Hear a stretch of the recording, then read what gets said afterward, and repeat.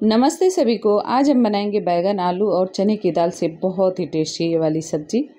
यहाँ पे मैंने तेल में जीरा, हींग डाल दिया है। एक बारीक कटा हुआ प्याज डाल देंगे, भून लेंगे।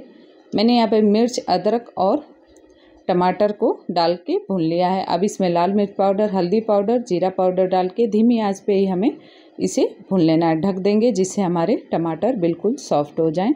रात को मैंने भिगो दिया था चना दाल, वो डाल देंगे। अब इसमें आलू कटा हुआ डाल देंगे। दो मैंने यहाँ पे बैगन लिया है मोटा मोटा काट कर वो डाल दिया है, चला लेंगे। अब इसमें डालेंगे स्वाद के अनुसार नमक। धीमी आँच पे हमें इसे एक मिनट के लिए भून लेना है। देखिए, ढक दिया है मैंने। देखिए, अच्छे से ये भून चुका है सब्ज़ी। अब इसमें डालेंगे पानी। ढक्कन लगा के अच्छा सा उबाल आने देंगे, जिससे हमारी सब्ज़ी अच्छे से पक जाए। अब इसमें डाल दिया मैंने धनिया पत्ती।